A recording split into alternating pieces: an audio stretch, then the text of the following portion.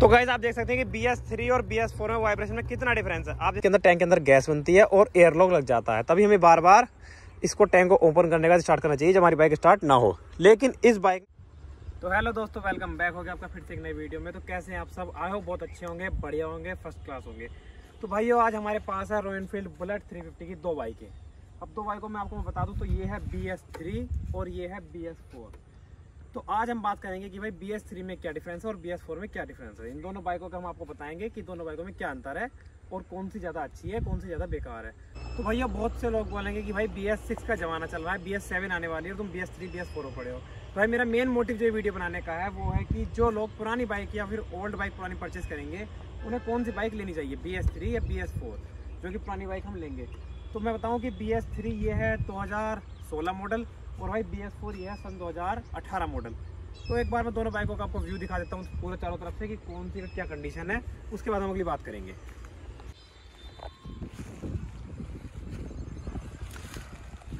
तो कुछ इस तरह की है हमारी बी एस थ्री जो कि 2016 मॉडल है। और भाई मैं इसकी आपको बता दूँ तो ये चल चुकी है अट्ठावन हज़ार अड़तीस किलोमीटर। उसके बाद हम चलते हैं अपनी बी एस फोर की तरफ़। ये भाई हमारी बी एस फोर जानी मानी बाइक है, आप सभी जानते हैं। जो नए व्यूवर हैं, वो इस बाइक को नहीं जानते होंगे, जो पुराने हो तो जानते ही हैं। बाकी जो नए हैं, पुरानी वीडियो में देख सकते हैं कि इस बाइक के साथ हम क्या क्या करते रहते हैं। और बाकी अगर हम इसका मीटर बताएँ तो भाई ये चल चुकी है अठारह किलोमीटर। और भाई इसका मैं बता दूँ तो भाई इस पर लगा हुआ है स्टॉक सलेंसर कंपनी का, जो कि अभी लगाया हाल फ़िलहाल में। पहले भी इस पर भी साउंड वाला सलेंसर था शॉर्ट बोटल और भाई हमारी बाइक पे लगा हुआ है free flow short bottle silencer जो कि पटाखे भी मारता है, सारे काम करता है। लेकिन ये सलेंसर लीगल है, इसे लगानी चाहिए। मैं रिकमेंड नहीं करूँगा। तो भाई, सबसे पहले अगर हम अंतर की बात करें दोनों बाइकों में तो भाइयों, अब हम सबसे पहले बात कर लें कि दोनों बाइकों का सबसे बड़ा डिफरेंस क्या है, जो कि बी सिक्स और बी फोर को बनाता है। तो भाई हम आपको बता दूँ तो इसके अंदर है एक चार कोल कैनिस्टर जो कि हम आपको बी फोर में दिखा देते हैं। ये भाई हमारी बी फोर है। इसके अंदर आपको दिख रहा होगा कि ये एक्स्ट्रा पाइप जो हमारा जा रहा है ये जा रहा है हमारे चार कोल कैनिस्टर में, जो कि हमारा ये है यहाँ पर। अगर आपको दिख पा रहा होगा तो ये जो हमारा एक ब्लैक ब्लैक कलर की डिब्बी होती है जो हमारा चारकोल कैनिस्टर होता है, जो कि हमारी टैंक की गैस को रिलीज़ करता है और हमारी बाइक का एवरेज इंक्रीज़ करता है।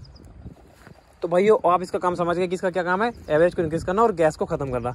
जो कि हमारा कई बार टैंक में एयर लॉक लग जाता है तो उसको ये रिलीज़ करता है, वो दिक्कत हमारी खत्म हो जाती है। अभी अगर हम इसकी ही बात करें तो भाई, ये हमारी बी एस थ्री तो बी के अंदर आप देख सकते हैं, कोई एक्स्ट्रा पाइप नहीं है, ना ही कोई चारकोल कैनिस्टर है। बिल्कुल फ्री एरिया है, ना ही कोई यहाँ पर चारकोल कैनिस्टर है, ना ही कोई यहाँ पर है। तो इसके अंदर ये प्रॉब्लम आती है कि भाई इसके अंदर टैंक के अंदर गैस बनती है और एयरलॉक लग जाता है। तभी हमें बार बार इसको टैंक को ओपन करने का स्टार्ट करना चाहिए, जब हमारी बाइक स्टार्ट ना हो। लेकिन इस बाइक में ऐसा हमें कुछ करने की ज़रूरत नहीं है। ये तो हमारी बिल्कुल नॉर्मली सिंपल स्टार्ट हो जाती है। तो ये मेन काम है चारकोल कैनिस्टर का, जो कि बी एस थ्री और बी एस फोर के अंदर डिफरेंस आपको मिल गया। अगली अगर हम बात करें तो भाई वो है इसका फ्यूल टैंक तो आपको मैं बता दूँ तो भाई इसका fuel tank B S four से थोड़ा बड़ा है। आप देख सकते हैं, आपको शायद फील ना हो, ये इसका बी एस थ्री का फ्यूल टैंक है, और भाई ये हमारा बी एस फोर का फ्यूल टैंक है। तो बी एस फोर का फ्यूल टैंक यहाँ से दोनों साइड से थोड़ा पतला है, और इसका फ्यूल टैंक थोड़ा चौड़ा है, जिससे थोड़ी हैवी से लगती है, और ये थोड़ी कम हैवी है। और भाई अगली अगर हम बात करें तो भाई बी एस थ्री का जो इंजन है, इतना रिफाइंड नहीं है जितना कि बी एस फोर का इंजन रिफाइंड है। मतलब कि मेरा कहने का मतलब है भाई, ये इंजन ज़्यादा आवाज़ करता है, ज़्यादा वाइब्रेट करता है, और ये इंजन कम आवाज़ करता है, कम वाइब्रेट करता है। इसका काम है ज़्यादा साइलेंट चलना, और ये थोड़ा कम साइलेंट चलता है। तो भैया अगले डिफरेंस की अगर हम बात करें तो भाई, वो है इसके फ्यूज सिस्टम की।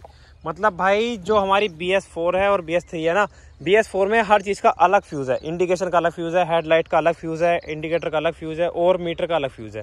लेकिन भाई, इस बाइक में ऐसा कुछ नहीं है, वो मैं आपको दिखाता हूँ।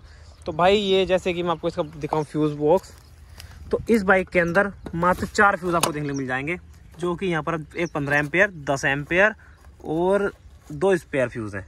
बाकी इसके अंदर दो फ्यूज़ नीचे हैं और इसके अंदर एक्स्ट्रा कुछ नहीं है। वही अगर हम बात करें अपनी बी एस फोर बुलेट की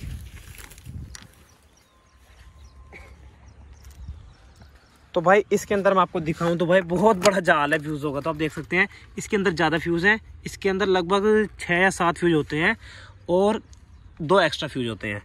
तो इस बाइक के अंदर ज़्यादा फ्यूज़ है और इस वाली के अंदर कम फ्यूज़ है। और भाई आखिरी और सबसे बड़ा डिफरेंस जो है इस बाइक का मैं आपको बता दूँ तो भाई इस बाइक का जो बैंड पाइप होता है ना, उसके अंदर कोई फ़िल्टर नहीं होता। बी एस थ्री बाइक के अंदर कोई फ़िल्टर नहीं होता बैंड पाइप के अंदर। अगर आप ओरिजिनल बैंड पाइप के साथ ही अगर शॉर्ट बोटल सलेंसर लगा लें तो आपका पूरा काम करेगा। और लेकिन अगर आप बी एस फोर का बैंड पाइप देखेंगे तो भाई मेरा तो खैर फ्ली फ्लू लगा हुआ है, लेकिन जिसका ओरिजिनल बैंड पाइप होता है ना, उसके अंदर फ़िल्टर लगे होते हैं कि जो, जिससे कि नॉइस पोल्यूशन ना हो।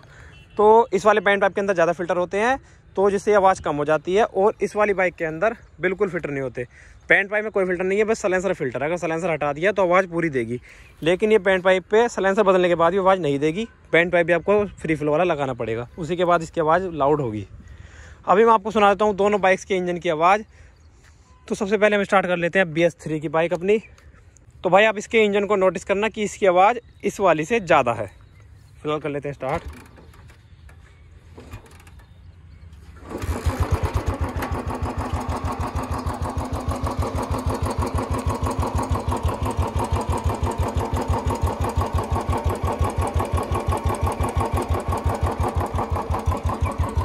आवाज़ के साथ साथ भाई, इस बाइक में वाइब्रेशन भी ज़्यादा है। बी एस थ्री में आवाज़ के साथ साथ बी एस फोर से वाइब्रेशन और इंजन नॉइस दोनों ज़्यादा हैं। इसकी वॉइस भी कम है और भाई वाइब्रेशन भी कम है। अभी हम कर लेते हैं बी एस फोर को स्टार्ट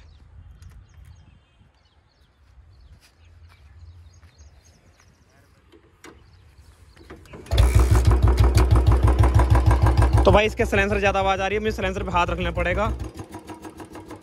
आप देख सकते हैं आवाज़ दोनों की। आप देख सकते हैं भाई, इस वाले इंजन की आवाज़ उस वाले इंजन से कम है। और जबकि उस पर ओरिजिनल साइलेंसर है और इस पर फ्री फ्लो साइलेंसर है तो इसकी वजह से थोड़ा आवाज़ लाउड भी दे रहा है, लेकिन अगर इस पर भी हम ओरिजिनल साइलेंसर लगा दें तो भाई इसकी आवाज़ उससे कम हो जाएगी। अब हम दोनों बाइकों को एक साथ स्टार्ट करेंगे और मैं आपको दिखाता हूँ कि वाइब्रेशन कौन सी बाइक में कितना ज़्यादा है।